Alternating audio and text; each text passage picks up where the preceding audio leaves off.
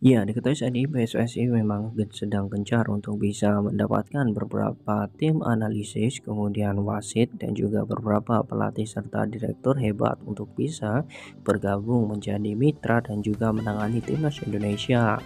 PSSI memang saat ini sedang serius untuk membangun hal tersebut. Ya, bukan kaleng-kaleng, PSSI memang sudah mempersiapkan tersebut demi empat tahun ke depan.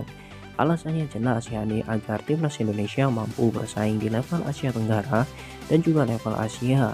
Oleh sebab itu dari akar kemudian strategi strategi menengah dan juga pola output untuk bisa menciptakan timnas senior berprestasi ini akan menjadi PR berat bagi PSSI. Namun sepertinya PSSI didukung oleh beberapa elemen salah satunya adalah legenda sepak bola Inter Milan dan juga Manchester United yakni Sebastian Veron.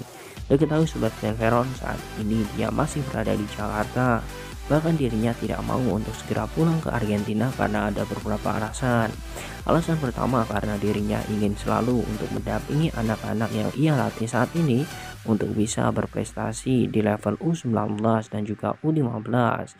Saat ini memang dirinya melatih di akademi saat diundang oleh Erick Thohir. Memang saat ini sebenarnya dirinya sudah tidak melatih lagi, namun dirinya tetap ingin melatih karena merasa ada hal yang sangat luar biasa di Indonesia. Keinginan pemain ini sangat bagus, saya harus memolesnya hingga pemain ini memiliki taktik yang sangat baik seperti di Eropa. Ucap Sebastian Veron. Ia pun mengatakan bahwa sebenarnya sangat terkejut dengan sambutan yang dilakukan oleh Erick Thohir dan juga beberapa elemen dari PSSI. Bukan hanya itu, sepertinya Sebastian Veron memang tidak akan kembali ke Argentina selama Argentina belum datang ke Indonesia. Saya akan menyaksikan hal tersebut sampai tanggal 19.